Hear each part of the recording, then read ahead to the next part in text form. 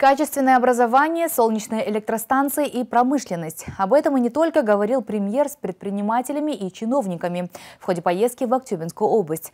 Обсудили также актуальный вопрос атомной энергетики и развития западного региона.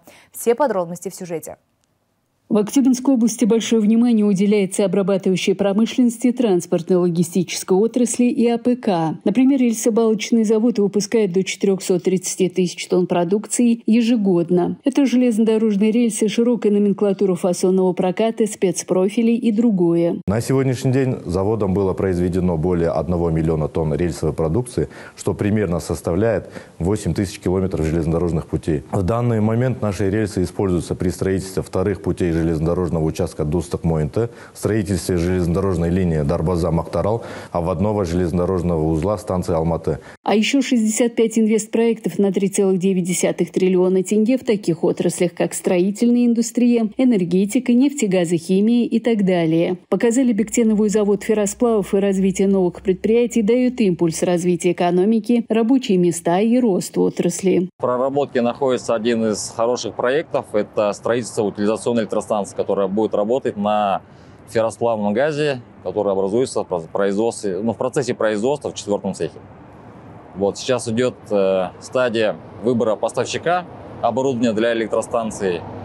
Касательно казахстанского содержания, наш завод сотрудничает э, порядка ну, более 400 производителей на производственных площадках акватории Актобе акцент сделали на качественном обновлении сферы ЖКХ. Здесь изготавливаются канализационно-насосные станции, автоматизированные тепловые пункты, блочно-модульные котельные, системы учета энергетических ресурсов и водоснабжения. На складе установлена э, современная система управления складом, которая позволяет минимизировать издержки на обработку грузов, тем самым э, позволяет э, для населения предоставлять э, максимально короткую цепочку поставок от производителя до потребителя.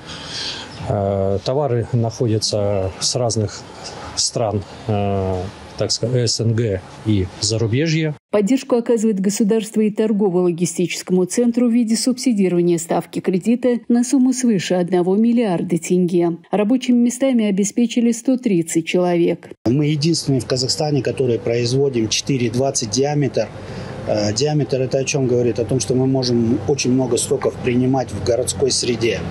Э, надеемся, что со временем э, многие специалисты, которые работают в этой отрасли, мы с ними готовы поделиться. Ну и на территории наших городов не будет образовываться так называемых в народе просто лужи. Во время посещения ветровой электростанции итальянской энергетической компании руководителю правительства доложили о функционировании ВЭС Бадамша и Бадамша-2. В реализацию данных проектов вложено 69 миллиардов тенге частных инвестиций. Наша школа уже целый год работает как опорная школа.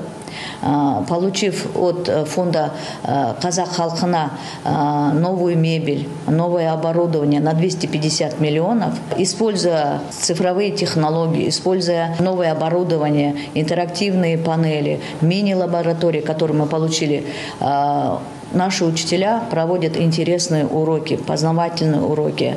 А, наши ученики занимают призовые места в областных республиканских конкурсах, исследовательских научных проектах. Тут же премьер осмотрел результаты модернизации средней школы и учебное заведение, построенное еще 55 лет назад, стало одним из первых в регионе, которое вошло в республиканский проект развития потенциала опорных школ в сельской местности. Гульнар Умарова, Ганизат Оспанов, Нурлан Шамгонов, ТДК-42.